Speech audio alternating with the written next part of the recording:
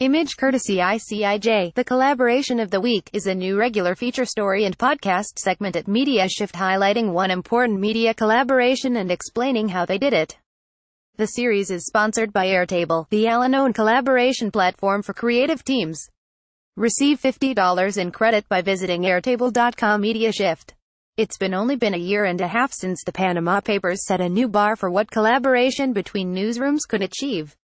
This entailed an unrivaled data leak, hundreds of journalists and a reporting project that highlighted the modern reality journalists now frequently work in big leaks, big data, big stories. Everything moves faster when you can share data, or share insights, or share good quotes, or share good search tips. The more you do it, the more useful it becomes. Martha Hamilton Now, the International Consortium of Investigative Journalists ICIJ, with 95 partner newsrooms comprised of 381 journalists working in 30 languages across 67 countries, has released the newest iteration of global collaboration with the Paradise Papers. Project uncovers how the world's elite hide money in offshore havens, avoiding billions in tax bills on everything from investment funds and luxury goods, like private jets and yachts, to corporate earnings and intellectual property. The information was revealed by a 13.4 million file leak to Süddeutsche Zeitung. The cache of documents features nearly 50 years of paperwork from Appleby, a law firm with offices in Bermuda along with files from other firms and companies. In a Facebook Live QA, ICIJ Director Gerard Ryle described the files as 13.5 million secrets.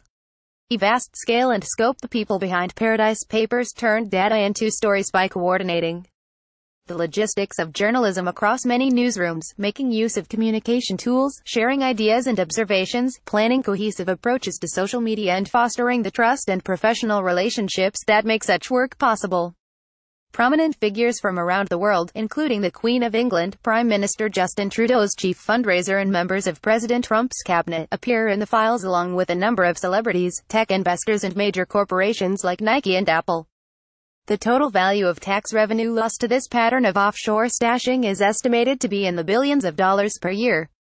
The scale and scope of the project and the data that underpins it makes it an effort simply impossible without collaboration. At ICIJ, the mission is to uncover those urgent stories of public interest that go beyond what any particular one journalist or organization can accomplish on his or her own, said Marina Walker, ICIJ Deputy Director, in a Vice News documentary about the project. Learning from Panama Papers Panama Papers and the lessons learned from its execution made for smoother sailing with its similarly alliterative successor. Martha Hamilton is a senior editor and writer at ICIJ and worked on both projects.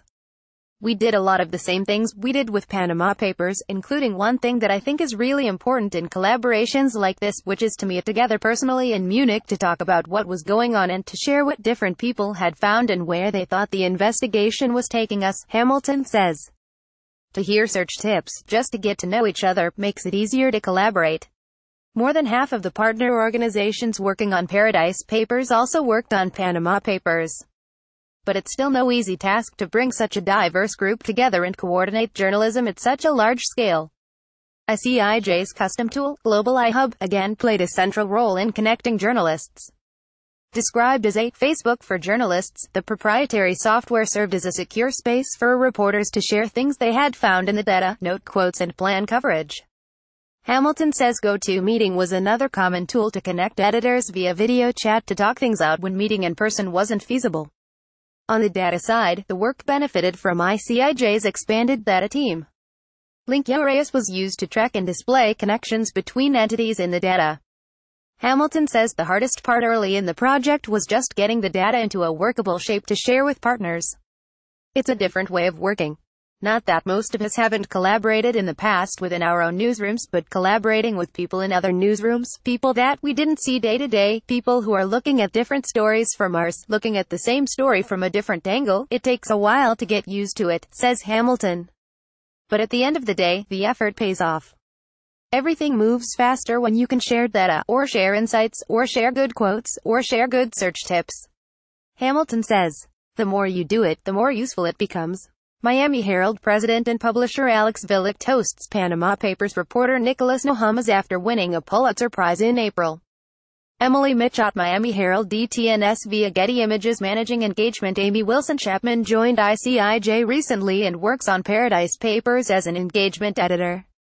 The role is twofold, assisting in the engagement and connection between the large teams of journalists working on the project and to help those teams engage with their respective audiences, along with ICIJ's own audience engagement efforts. Between ICIJ's collection of platforms, websites and newsletters along with the all of the platforms of the 95 partner newsrooms, Wilson Chapman says it's nearly impossible to put a number on just how many social accounts are actively promoting the stories being produced. Wilson Chapman is tasked with thinking about timing, consistent messaging and coordinated use of hashtags and other shared identifiers. The project also presents a unique opportunity to look at how audiences around the world react to the same series. One thing that comes into play are the different kinds and sizes of audiences. These audiences are so huge that they can really drown out other sections of the global audience. So it becomes quite a challenge to then manage how we see where our projects are being talked about because there's just so many people in some of these countries compared to other countries. But that doesn't necessarily mean that a story in that country is any less significant than, you know, like India or Pakistan that has millions of people. Hamilton highlights the story about Burkina Faso as one such significant story. We have had a terrific story about Burkina Faso and who loses when money is stashed offshore and taxes aren't paid. This very, very poor country, one of the poorest countries in Africa, looking forward to money coming in from development, jobs coming in through the Glencore Corporation and a lot of those promises just didn't come through.